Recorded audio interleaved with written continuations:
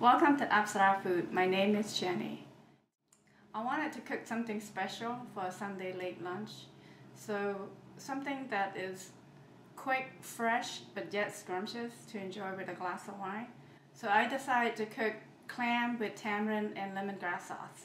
It's quick, easy, and I want to share it with you guys. Let's go over the ingredient list. We have Apsara Food tamarind salad dressing and Apsara Food green lemongrass paste, some garlic, manila clams, Thai basil, and Fresno chili. First we need to mix the lemongrass paste and the salad dressing.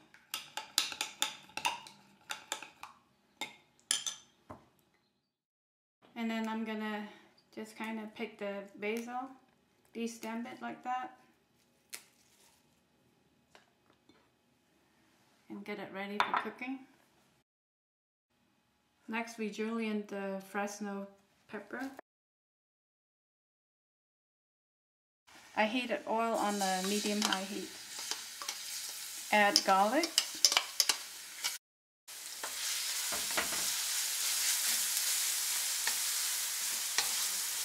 Garlic turned a little bit brown. Now it's time to add clams.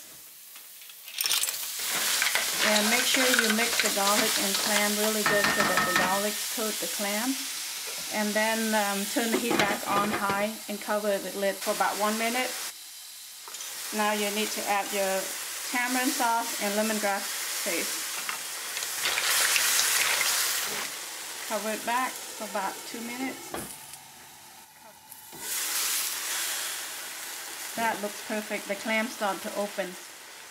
Now I add the chili, turn off the heat, and the rest of the mint, and save some for garnish.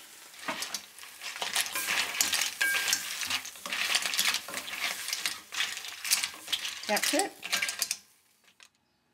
I hope you have fun cooking and um, share your creation with your loved ones.